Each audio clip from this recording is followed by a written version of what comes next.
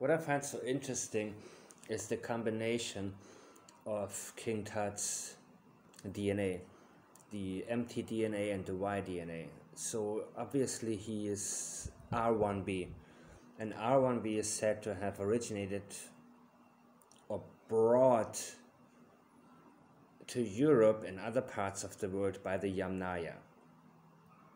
And that was thousands of years ago, of course. And these same Yamnaya also migrated towards the east.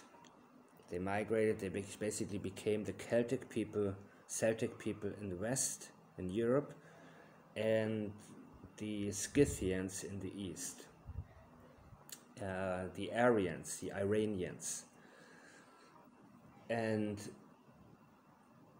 I'm not surprised that, you know, uh, when you look at, for example, the different dynasties, you know, the, the biggest problem when you uh, have people hypothesize that they don't realize that every single dynasty was a different family and every one of those families had different ancestries. So while Ramses was E1B1A, I believe, which is sub Saharan, uh, Cleopatra was Greek, Macedonian.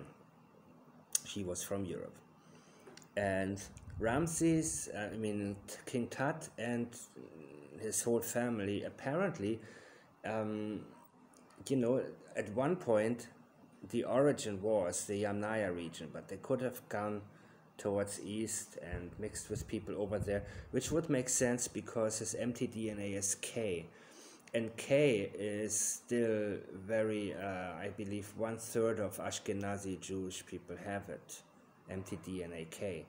So there's obvious, and, and the origin is likely somewhere uh, in Sumer, Sumerian region, um, you know, Mesopotamia, Iran, Persia, that area.